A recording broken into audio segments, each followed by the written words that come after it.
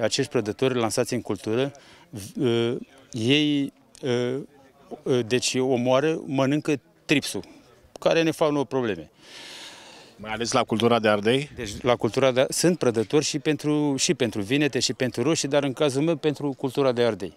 Deci să fac două lansări de prădători, uh, unii de să numesc Orius, care să pun în flori, ăia sunt uh, pentru flori, care mănâncă tripsul din flori, așa, și mai sunt niște prădători care se numesc vestii și ea se pun pe frunze. Se pun pe frunze și ea uh, mănâncă ouăle și larvele de trips.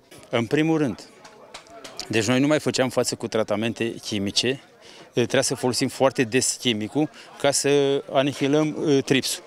Uh, deci noi am scăpat, ca să zic așa, și de muncă fizică, care ne trebuie timp să faci tratamente, să așa. Și cea mai importantă parte este consumatorul final. Deci, plante, deci ardeiul este mai, mai bio. Deci nu sunt folosite atâtea insecticide ca să, ca să fie bun pentru consum. Înțelegeți? Deci noi facem lansările primăvara, Orisul plus Zvirsi și toată vara noi nu mai folosim tratament chimic, ă, ei își fac serviciu acelea și e foarte bine. Și pentru consumatori că nu mai sunt, ă, înțelegeți.